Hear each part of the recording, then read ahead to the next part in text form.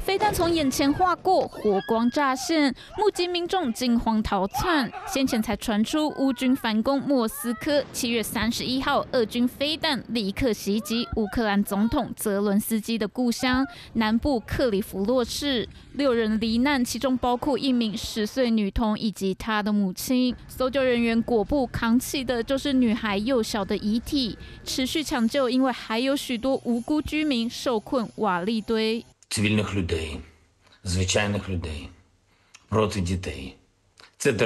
泽伦斯基指出，俄军使用的是伊斯坎德尔导弹，击中一栋住宅和大学建物。This startling, frankly, because it appears to be an escalation by Russia to hit civilian areas. Their spokesperson Dmitry Peskov calling those drones attacks an act of desperation. 俄乌战况焦灼，莫斯科疑似为了分散西方战力，把手伸进非洲大陆。The Kremlin said it was seriously concerned over the Niger coup, but the Wagner's uh, chief Prigozhin saying, and I quote him here, what happened in Niger has been brewing for years. The former colonizers are trying to keep the people of African countries in check. 俄国将矛头指向西方，等看看尼日示威者包围法国大使馆，又挥舞着俄国国旗，让人质疑政变有俄国在背后下指导棋。与此同时，遭软禁的总统贝佐姆首度露面，与查德总统同框。面对西方经济共同体扬言不排除武力介入，同样在二零二一年发生政变的马利军政府称将出兵捍卫邻国。诸多势力盘踞非洲，俄乌局势下，想必让情势更加严峻。三立新闻网上影报道。